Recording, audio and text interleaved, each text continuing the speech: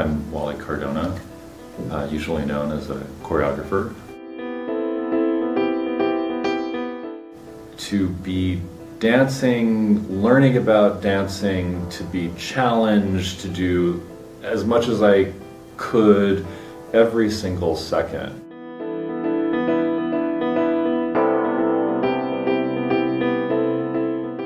Any of any of us could have a huge conversation about like what what we were told that should be, or our ideas about what it is to be a dancer, to be a choreographer, to be an artist.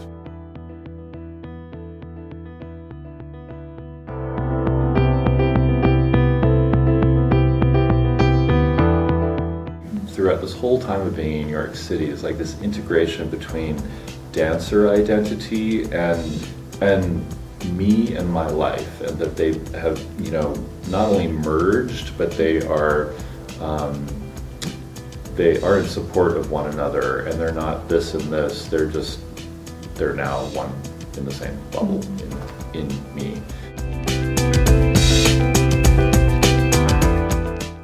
My ideas of being a choreographer and what I think that is continues to evolve.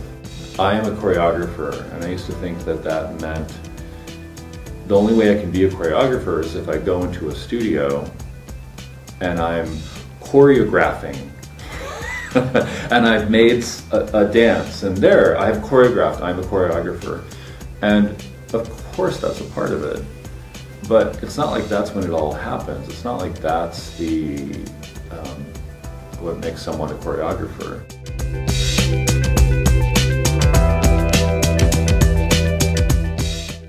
One can easily begin to identify as something.